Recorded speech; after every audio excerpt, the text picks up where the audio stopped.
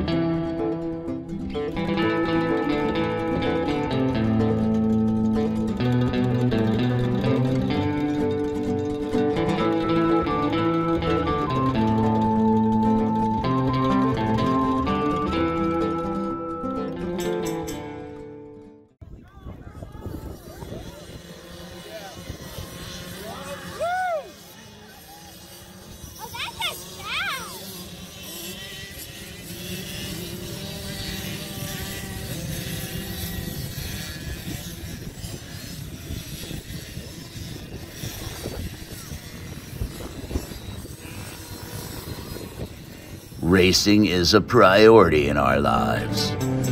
We are a unique hodgepodge, a melting pot of people. We love the smell of race gas and we love to go fat.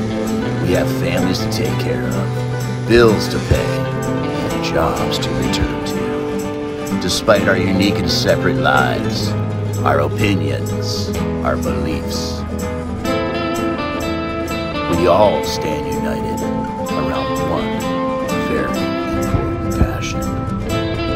desert racing.